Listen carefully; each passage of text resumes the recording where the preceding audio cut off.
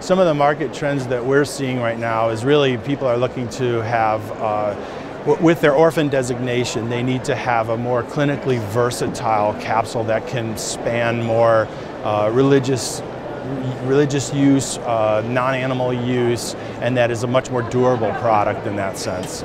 You know, our capsule portfolio is probably the broadest of most of the companies that produce capsules out there.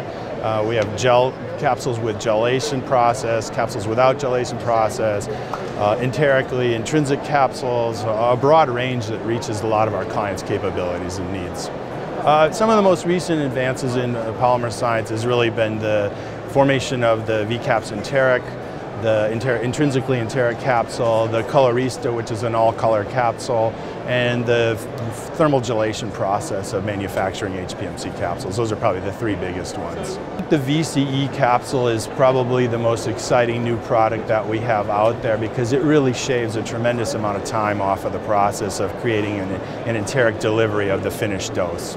Speed to market is really important to our customers because the faster something gets to the clinic, the faster it gets commercially approved, and thus all the patients will receive the treatment faster.